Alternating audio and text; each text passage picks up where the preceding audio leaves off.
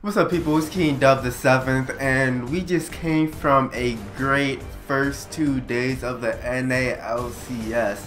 We couldn't really ask for a better first week. The first day had, I mean I can't think of a game that was bad. Maybe the worst game in the first day uh, was Dignitas versus NRG, but, or Energy, whatever, NRG, Energy but that's only because Dignitas just couldn't get a Baron and they kept getting their Barons taken from a Victor. I don't know how that works. I mean, it's not like the jungler wasn't right there and had Smite, but whatever. You had that, you had Immortal showing how dominant they could be. We had great games between TSM and CLG and TSM and Liquid. We had a bunch of new teams and new uh, players showing how good they are.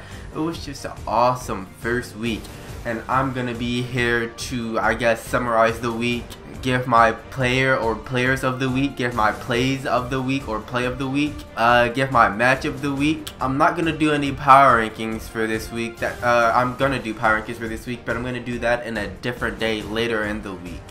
For right now I just want to go over the awesome things that happened in the first two days of the LCS so let's get into it. So the first thing that we have to cover is the game of the week, which is a very hard choice for me because there were so many, so many really good games in the first two days of the NALCS. Now, the very easy game to pick would be the TSM versus CLG game because, I mean, it was TSM versus CLG. That's always going to be a good game. It's like the biggest rivalry in NALCS probably in all of the esports or at least League of Legends esports, uh, it was the first game of the season, and it was already the first game with five dragons and about two different barons.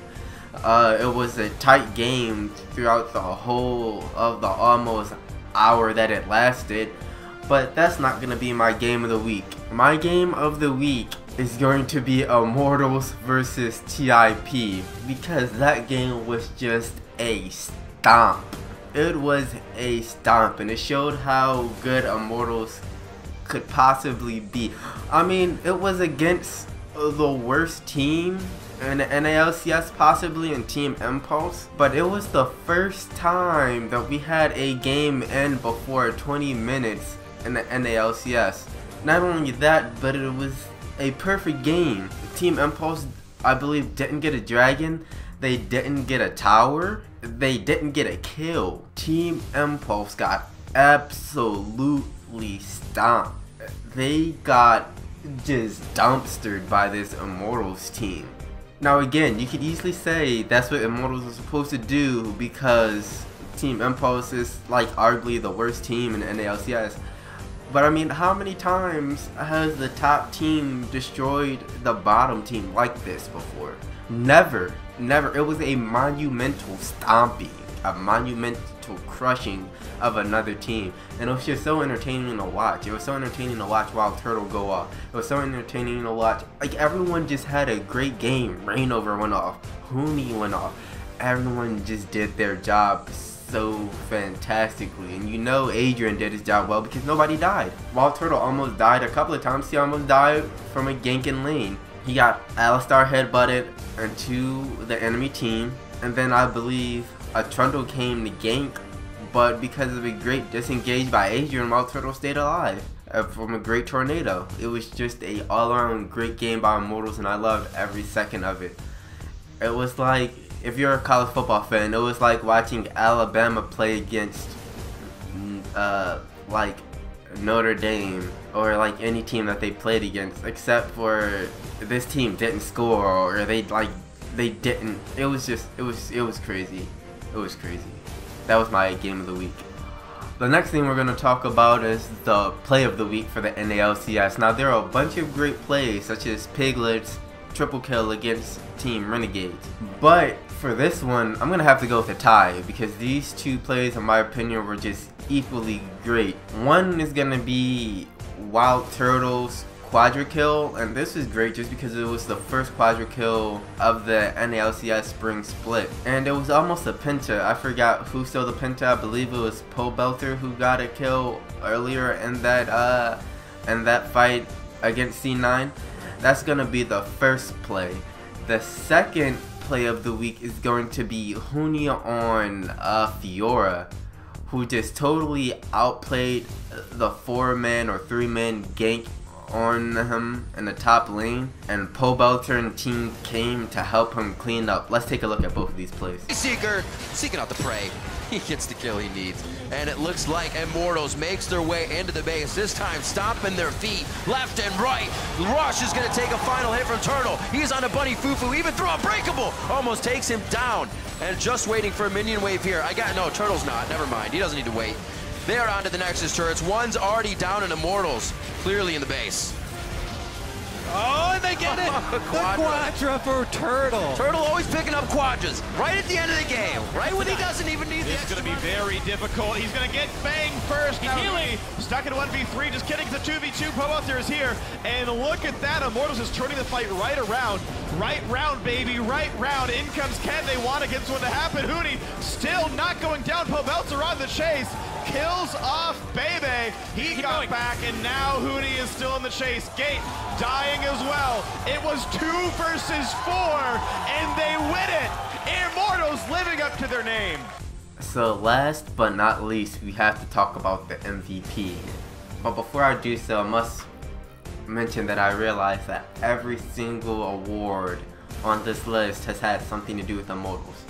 MVP is no different because MVP is Wild Turtle. Now let me put some stats out there for you.